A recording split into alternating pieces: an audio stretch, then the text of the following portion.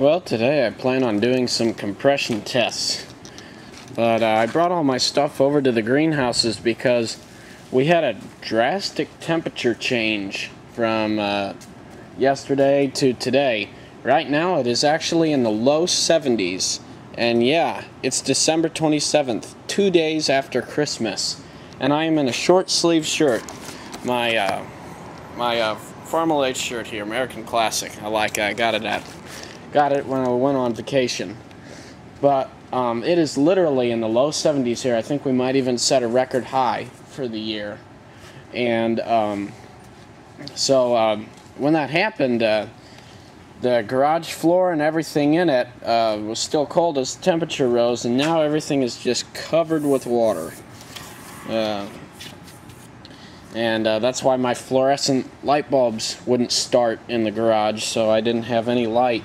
So I brought them over here to the greenhouse and we're just going to do our compression tests here. I hope my battery charger slash uh, jumper is okay because it was soaked with water too. Uh, so we'll uh, we'll see what what happens here and hopefully everything's all right. But that's why I'm in the greenhouses right now.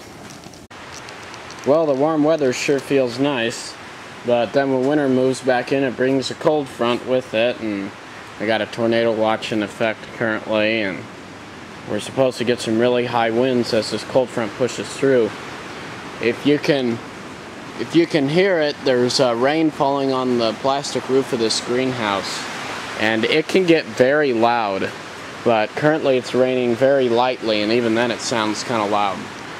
But uh, we'll do what we can do in here. We're still nice and dry as long as power stays on.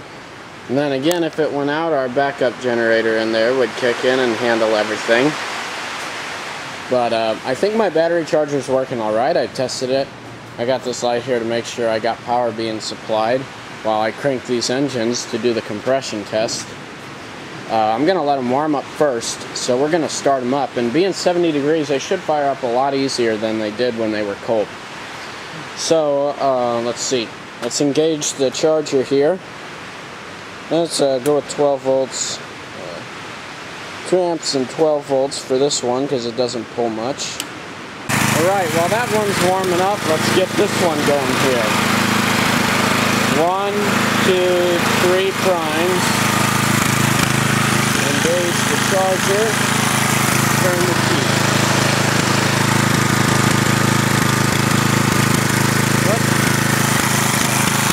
What's going on?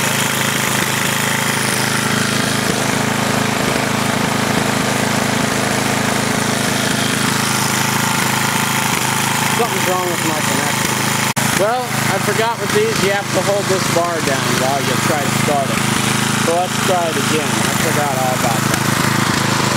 Hold the bar down and turn the. Oh, yeah. That one fired up good.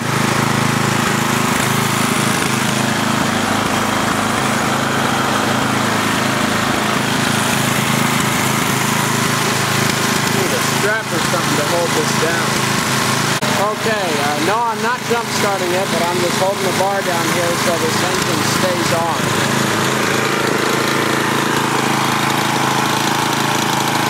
Actually running pretty good.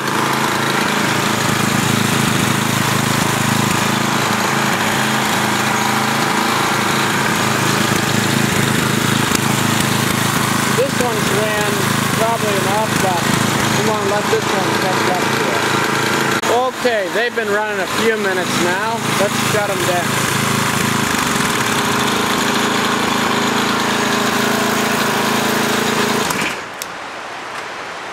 Eh, it's still raining. Shoot.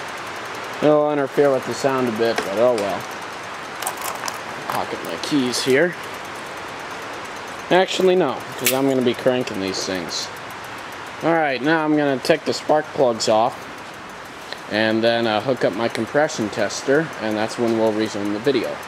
Okay, here's the compression test of this engine. Got the spark plug out, full throttle, and here's the gauge. We'll go ahead and crank the engine and we'll see what we get.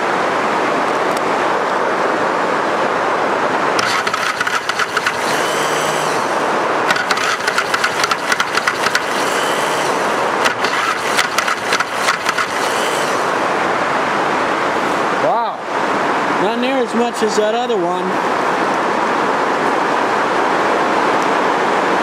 A little bit more than 50. Alright, let's release it and try it again.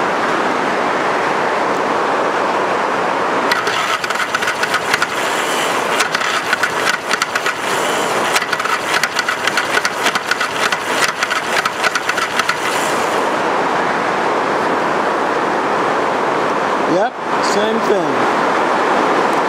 Then we'll let it go for about a minute and see how well it holds its compression.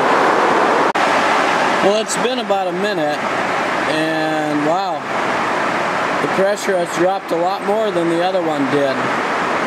Down from 50 to almost 35.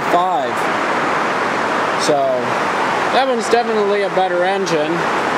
This one doesn't have as much compression, but that's the compression on the two 6.75 horsepower, 190 cubic centimeter Briggs engines.